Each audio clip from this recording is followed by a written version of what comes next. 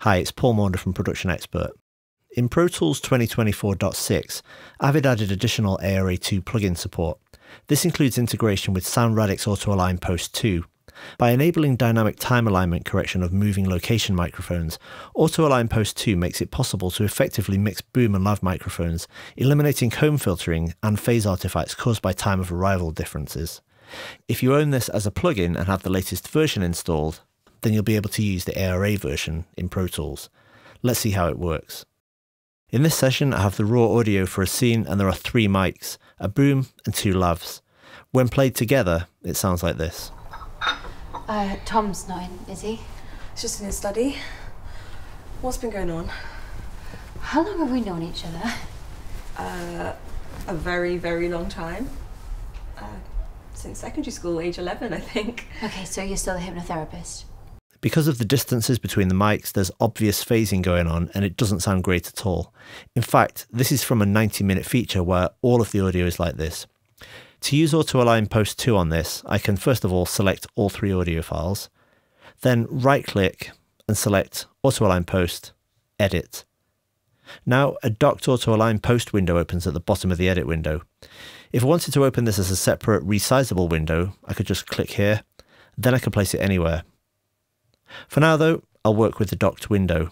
There are a couple of options over on the right hand side. We have the choice of either static or dynamic time alignment.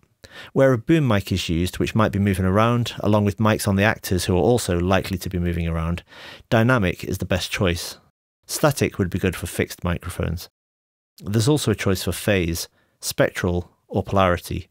Polarity can flip the polarity where necessary, but this can often still leave problems in the lower frequencies. So spectral is in my opinion the better option in most cases because this can correct for differences in specific frequency bands which might be out of phase from the reference track. Okay, I'm going to set one of the mics as the reference track. The other two will be aligned to this. I'll use the boom. By clicking on Set Ref, Auto Align Post 2 time aligns the microphones extremely quickly. Let's take a listen. Uh, Tom's not in, is he? It's just in his study. What's been going on? How long have we known each other? Uh, a very, very long time. Uh, since secondary school, age 11, I think. Okay, so you're still a hypnotherapist? Of course I am.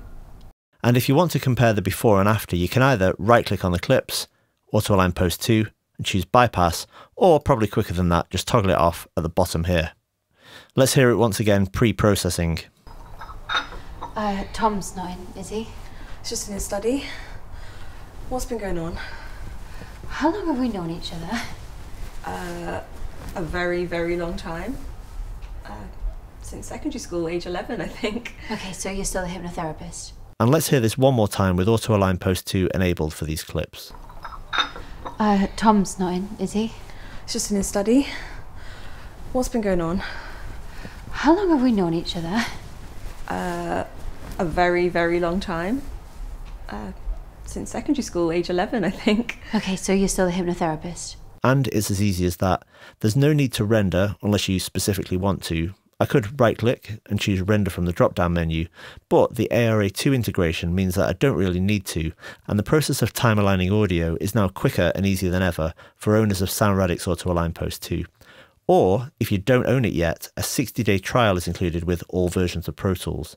For more information, visit avid.com or soundradix.com. Thanks for watching.